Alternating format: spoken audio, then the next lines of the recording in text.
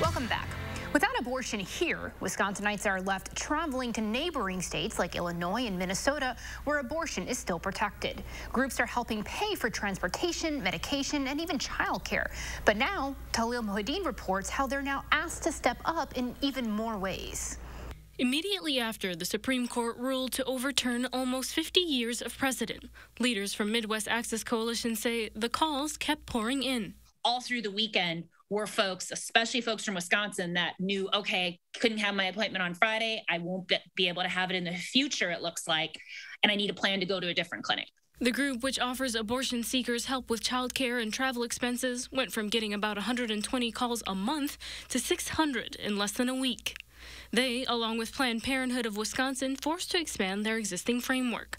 People were already facing difficulties in accessing care, whether it was paying for the care or transportation.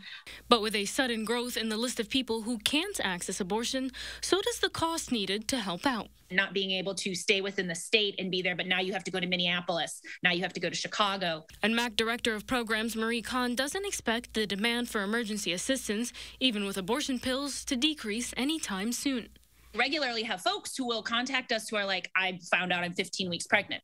That's not going to change when we don't have access to actual, you know, medicine, rural medicine in spaces for folks to get pregnancy care, to get ultrasound readings. Abortion support groups left planning for unknowns. This will be a changing legal landscape for some time to come, um, and that for, you know, we don't know for how long.